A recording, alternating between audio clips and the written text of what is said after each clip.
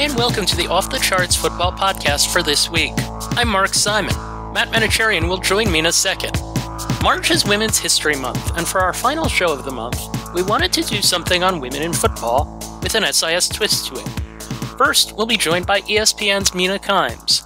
Mina is a highly popular NFL analyst at ESPN. You can see her on NFL Live, hear her on The Mina Kimes Show, and read her work on ESPN.com. Her work is very much in line with ours. Then we'll talk to Robyn Ritchie. Robyn's one of us, a sports statistics researcher. She's based in Vancouver. She did some in depth analysis on punt returns for the Big Data Bowl. Robyn's work represents the future of football analysis in more ways than one. Hey, Mina, thank you for joining us. Thank you so much for having me. We got to talk basic football stories. Do you have a favorite off-season story? Well, as a Seahawks fan, it's definitely not trading away the best quarterback we've ever had in the history of the franchise. But no, I, you know, obviously the quarterback mobility this offseason has been fascinating. What it says about the state of the NFL, I think how GMs operate, um, teams approach roster construction, and of course the perceptions of this year's draft class are all kind of folded into that. But I, I've also been really fascinated by the wide receivers getting paid and the amount that they've gotten paid. It's something I did not anticipate in part because I actually like this wide receiver draft class. I think it's pretty deep. But also, you know, we're talking about older wide receivers getting paid. And my good friend Bill Barnwell had, I think, a good comment on it when he said Bill O'Brien trading DeAndre Hopkins permanently altered NFL history forever. I think that's right. I, I kind of want a 30 for 30 on that trade in that moment. But, you know, I, I like these trades because I think, and I'm talking about, you know, Davante Adams, Tyreek Hill. I think you can really mount interesting arguments for both sides. And those are the kind of trades I like, not the DeAndre Hopkins trade where everyone and their mother agreed it was absolutely horrible for Houston. But with these trades, I think you can really see the case for both teams, and that makes it more interesting to me. Yeah, I couldn't agree more. It's like, here's my present value, Russell Wilson, for some future value, as mm. opposed mm. to just like, you get everything good and I get everything bad. Is there one NFL draft related thing that you're looking forward to? Well, you know, I go back to the aforementioned much maligned quarterback class. I think it absolutely perceptions of this class influenced what we've seen, you know, with teams like obviously I would actually throw Denver out because I think once if you get a chance to trade for Russell Wilson, you just do it. But more looking at like Washington trading for Carson Wentz, Pittsburgh signing Mitch Trubisky, which I don't think should stop them from considering a quarterback, by the way. You know, Indianapolis trading for Matt Ryan. I think all of those moves speak to how the NFL regards this group of quarterbacks. Money talks, trades talk. I also think, though, that I had time to watch all of the kind of ostensible first, second rounders. As much as we can criticize them and argue some of them have too low floors or too low ceilings, every year some quarterbacks can get drafted higher than we think. And so I think it's just really interesting to see how that shakes out, especially because the quarterback that a lot of people have going first overall, Malik Willis, is an absolute roller coaster. And with the, you know, I, I would call him a low floor, high ceiling quarterback. And I think it's going to be interesting to see how that plays out. Yeah, I think you're spot on. It, it matches our evaluations. In the NFL draft guide that we're putting out, he's the only guy that really you could see kind of ascending to be like that top level, like like you said, the high ceiling. Whereas there, there are a couple of high floor prospects, but where does that really get you? Like, where does Jalen Hurts get you at the end of the day?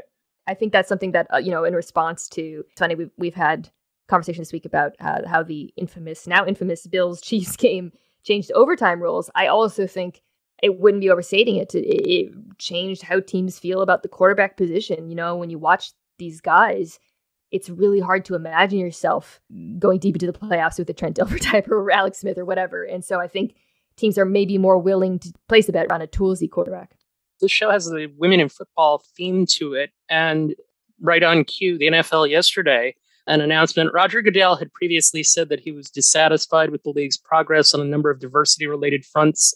He's trying to do something about it. So for 2022, all 32 NFL teams will hire an offensive assistant who is either a female or a member of an ethnic or racial minority. The person will be paid from a league fund, and the coach has to work closely with the head coach and the offensive staff the goal being to increase minority and female participation, create better pathways to head coaching jobs. What did you make of that? I think it's a passive, it's pretty overt acknowledgement by the NFL that the Rooney rule, pardon me, isn't working.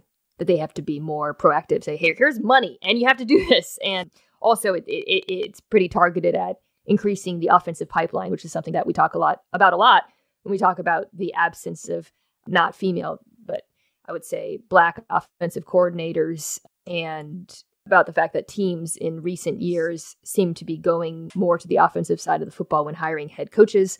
So this seems to me pretty specifically oriented to address that. I don't think it solves it because I think that the absence of diversity in the NFL's highest levels cannot be solely attributed to the lack of an offensive pipeline. Frankly, you know, when we see every year non-white offensive coaches getting passed over, it, it's obvious that that's not a solution in of itself. But I do believe that Roger Goodell and the NFL, like they they they take this seriously. I do. You know, I, I'm someone who criticizes the league a lot, but I think this is one issue where there's probably frustration in the league when it comes to the team's side of how they've handled this, and of course that ultimately goes all the way up to ownership.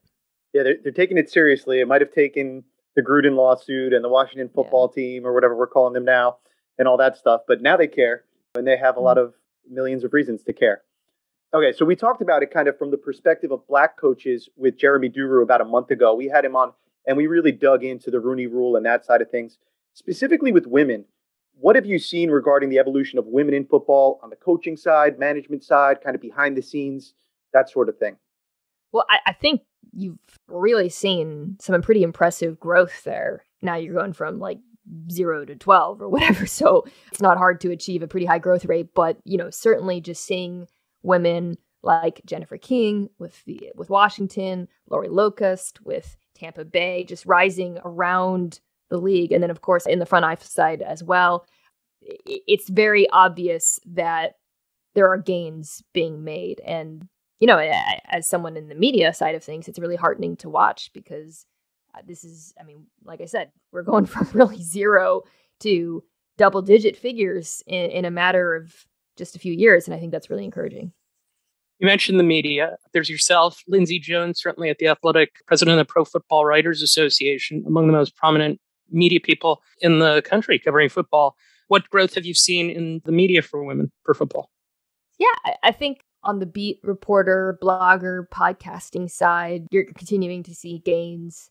And my hope is that that'll feed into what I do, which is, you know, more on the analysis side where our ranks are still pretty pretty small. So, you know, I started my career as a writer, a futures writer, not a reporter, but I think similar to our discussion about coaches, it's all about building pipelines for opportunities and, you know, a lot of analysts who aren't former players do get their start in radio, in podcasting, in writing. So just to have more and more women in visible positions in those roles will inevitably, or hopefully, not inevitably, I never say inevitably, uh, hopefully lead to more women doing work like the stuff I do for ESPN. I read an article that Lindsay wrote. I mentioned her just before. It was written today. Don't you dare look behind the curtain. The curtain sure is beautiful. The theme was basically that the NFL promotes its excellence, but there's a lot of stuff behind the scenes going on that's that's ugly. Deshaun Watson, Daniel Snyder, Gruden, as as Matt mentioned, the things that the Washington Post expose shed light on in uh, Washington. How would you rate the NFL in terms of actions versus words? Well, I think you run into a similar issue that you do with diversity in hiring, where some of it is on the NFL, but a lot of it is on the teams themselves and the NFL's ability or inability to regulate those teams' behavior. I think the Cleveland situation with Deshaun Watson being an excellent example of that, right? You know, ultimately, 13 teams pursued Deshaun Watson despite the fact that there were all these civil suits p- pending and also, you know, had been stories reported gathering kind of anecdotes, including you know one from a woman who didn't sue, that kind of thing. And ultimately, uh, the Browns decided to make him the, the highest, given most guaranteed money in the history of the league. That's not something you know that the NFL did while this was pending. Which, by the way, I, I think I, it's important to know when we talk about Deshaun Watson, the argument, at least from me, isn't this is a person who should never play football again or have a job again. The argument is, wow, a team just made him the highest paid player while all of this is still out there. And I think those are two very different things, and sometimes they get conflated to promote bad faith arguments. That said, the NFL could have stopped it. You know, they could have put him on the commissioner's exempt list at any point. They didn't for a variety of reasons, including their own investigation and, you know, the situation in Houston. But they are not blameless when it comes to the handling of this and the outcome of this. And I think that's something you see a lot time and time again. Now, the Snyder story with Washington. That, that that's entirely on the NFL. I found the NFL's handling of the issue, the punishment of him to be entirely inadequate based on what's been reported, to say nothing of the fact that the actual report was not publicized or even written. I think that speaks volumes about how they wanted it to go away. And I think that's frankly pretty disgraceful. He got about as much a punishment as Robert Kraft did for his own incident, which I don't forget has some similarities to, to the Deshaun Watson saga, although a saga that is, and that's a whole different thing. Yeah, I'll, I'll, I will know this does this come up a lot. You know, Kraft wasn't accused of non-consensual misconduct. That's fair. So yeah, that's very it's, fair. It's a pretty significant distinction. Yeah. Snyder was, by the way. So that that there the, the, the, that is where you start running into like a more of a clear comparison for me. So just to wrap up here, and this is something that we talked about with one of our other guests, who is a football researcher, essentially doing hardcore, intense data analysis. We asked her, "What advice would you have for the students, or to the mothers and fathers whose daughters say, I want to be the next Mina?" You know, if you have a daughter or anyone, I think anyone who's not typically represented you know, in media or in teams or whatever, with a passion for the sport, encourage it, facilitate it, uh, make them think it's possible that it's a thing they could do for a living. I know for myself, you know, in many ways growing up, I didn't think I would ever work in and around sports because I didn't see that representation.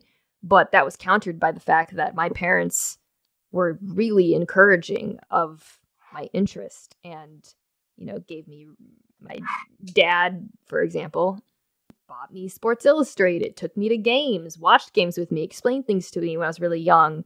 And, you know, that was so integral to my even believing it was a possibility, even though it didn't manifest itself until a little bit later in my career as a writer. And so I think, you know, it's it, it's not a dissimilar. I mean, I don't have kids, but it's not dissimilar to I think any passion you want your kid to pursue. Just making it clear that it's not just a dream, but something that can be turned into a reality. It's great that there are examples like Mina Kimes that we can point to. Mina, thank you for joining us. Thank you so much. That's very kind of you to say. Robyn Ritchie is a PhD student at the Simon Fraser University in Vancouver, Canada. She's pursuing a doctorate in statistics and was a finalist at the 2022 Big Data Bowl run by the NFL. Hey, Robyn, thank you for joining us. Hey, thank you so much for having me. Let's start by getting a more descriptive biography. Just tell us a little bit more about yourself and what your background is as it relates to sports and football.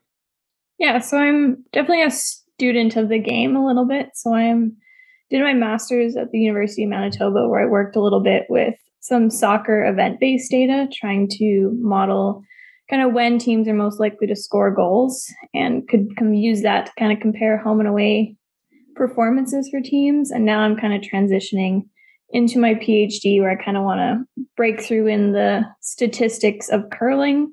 And along the way, I want to do as much as I can with like other types of data. Like the Big Data Bowl was a great aspect to incorporate tracking data in football. That so, sounds yeah. so fun. Tell me about curling analysis. I want to know everything. um, it's definitely like there's not there's not a lot out there. Everything that's kind of curling related is very like end by end information, kind of like how you'd have innings in baseball. It's just kind of like a summary of how that all went. I kind of want to take it further as like a shot by shot. Are these teams making the best decisions at the right time? Yeah, they, they, don't have so they don't have shot by shot data. That's or that's new. It's still like human tracked kind of. So it's uh-huh. someone in the stands with a distorted angle of the shots, like recording it on an iPad and then sending that so it's it's not great data and it right. needs to be improved and then it's also very complicated to deal with just like the physics behind the sport mixed with like human execution mixed with like what's the proper decision it gets complex for sure but there's a decision aspect and then there's also an execution aspect and you have to kind of parse that out somehow mm-hmm. I feel like that, that relates to to football well too. There's the decision aspect and the execution aspect. So yeah, I think sports, right? Yeah, big data Ball. Why don't you walk us through what you did for it? Because I think what you what you did is pretty cool. Yeah, we yeah. already moved on from the big curling bowl. Maybe one day there'll be a, a curling bowl. Yeah, so this work I did was in collaboration with three other Simon Fraser students. So I'll give them a quick shout out Elijah Cavan, Ryker Moreau, and Brendan Kumagai. And we did a project called Punt Returns using the math to find the path. So we basically, for punts that are returnable, um, we outline the safest path for returner to maximize return yardage with the end zone as their target in mind. So the path is based on how quickly defenders can fill the gaps in the coverage, as well as the blocking ability of the return team. And we prioritized forward movement as opposed to lateral movement. And we wanted to determine how well a power returner could perform above what we expected of them in that current situation. So this is pretty cool research, and it's actually the kind of thing that's very much up our alley, even though we may not have necessarily attacked it yet. And I think of it like almost as like the punt returners got to go through a maze, right? Like they, in order to to reach their intended goal. We talk about optimal paths for outfielders to get to fly balls. That's a common thing for baseball. You established a framework for an opti- optimal punt return path. What did that entail? Yeah, so it's definitely different than it would be like in baseball. It's a little bit more complex as there's like two teams all moving at once, kind of trying to fill each other's gaps and find all the stuff. So it's moving parts, lots of obstacles that the punt returner needs to take into account like instantaneously. So what we did is we looked for kind of like a graph theory solution that could find the safest gaps in the kick team's coverage for the punt returner to kind of target and move through safely and it's definitely it's a weighted scheme between how safe that move is and how much does that actually help you gain yards to get to that end zone. So it's basically just so i'm understanding it's basically looking at things on a move by move basis like as opposed to considering this one long path versus this other long path. It's kind of going from like a moment to moment like are you increasing your safety and amount of yardage that you've gained so we look at it frame by frame and we try to find the safest path all the way to the end zone. Like in reality, everything's going to change every single instance. So we really only like evaluate their decision based on like the next five yards of their movement. Cause that's like kind of our idea was just like how far can the punt returners see future movement? So we only actually evaluate them on the next little bit as opposed to the entire distance to the end zone. But it's definitely cooler to find the safest path all the way to the end zone. So this is something that like an assistant coach could use in an instructive way to to basically say whether or not a punt a punt returner was getting the most out of what he was trying to do, right? Yeah, so it's definitely something that we kind of intended as like a review type analysis so you can look at the play and notice which gaps were like open there was your blocking team was helping you. There was a gap there that you clearly missed. So we were able to see that for a couple returners. And I can definitely use to kind of like shake them a little bit and say, like, you're missing these constantly. You're always going to the sidelines. But it's definitely like it's a weighted scheme. So some punt returners are more crucial in their other role right on the team. So it's they kind of take the safer route than maybe what is best in our algorithm would say is maybe a little more dangerous, a little more risky.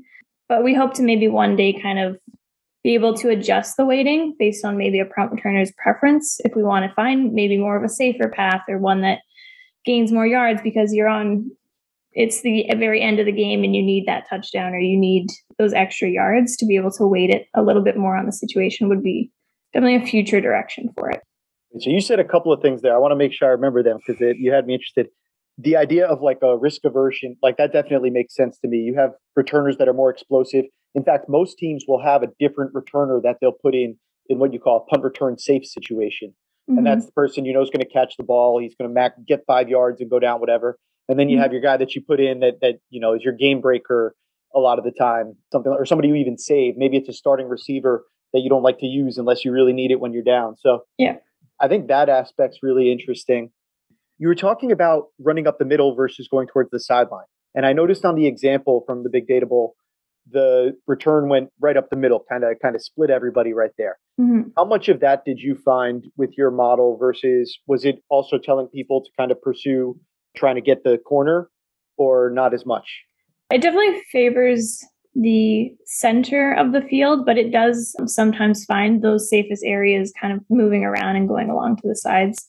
But again, that's in like the way that we weighted it. So we could weight it so it's a little more eased in terms of lateral movement. We really like wanted to gain yards on the play was our goal. was to show you how can you gain yards, but definitely changing that weighting scheme could allow for more lateral movement in the play. You also created a yardage over expected stat as part of this. I'm curious mm-hmm. who ca- who came out who came out best. Diontae Spencer was our top ranked in terms of return yards above expected. Cool. That's that's great that you were able to do that. You said off air you're just a beginner. What do you want to do in re- in research both on the football side and on the curling side?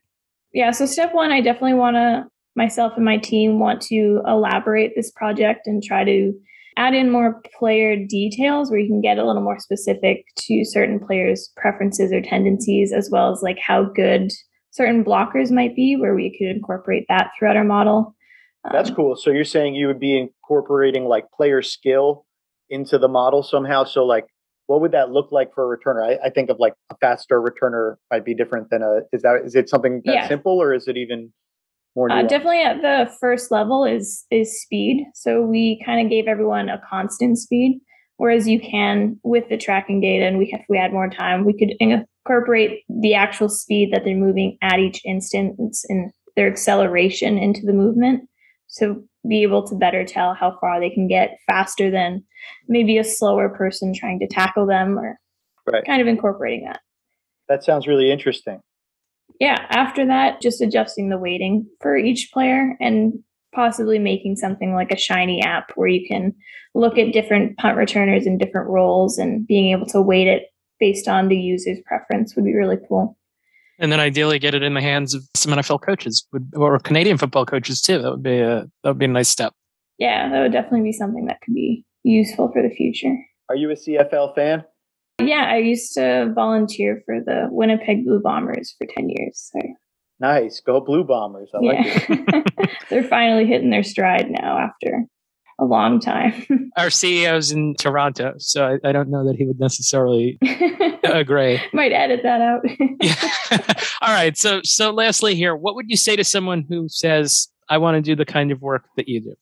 Definitely get started in like things like hackathons. So the Big Data Bowl is a, a super place to start. If you're into hockey, there's the Big Data Cup, which this year is focusing solely on women's hockey and trying to improve that game, which is super cool and very awesome. There's also like lots of area on on Twitter and groups that you can just kind of join where they kind of just talk about the game, talk about analytics and how to incorporate the two. And it's it's a great place to start for sure. Where can we find you on Twitter? Yeah, so I'm on Twitter at RR underscore sports stats. I think that curling has no idea what's about to hit it. I feel like this game is about to be changed completely differently because of what Robyn's about to do there. I don't know. Am I onto something, Robyn?